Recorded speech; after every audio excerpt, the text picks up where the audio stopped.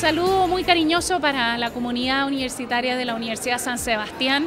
Eh, sigan trabajando, sigan mejorando la calidad de la educación que nosotros entregamos en Chile, pero adicionalmente, eh, especialmente para los estudiantes, eh, disfruten sus años de estudiantes porque es el espacio que uno tiene para, para aprender, para discutir, para poder convivir con los demás que, y, y en, una, en un lugar donde mucha gente piensa de una forma distinta. Así que hay que aprovechar profundamente los años universitarios.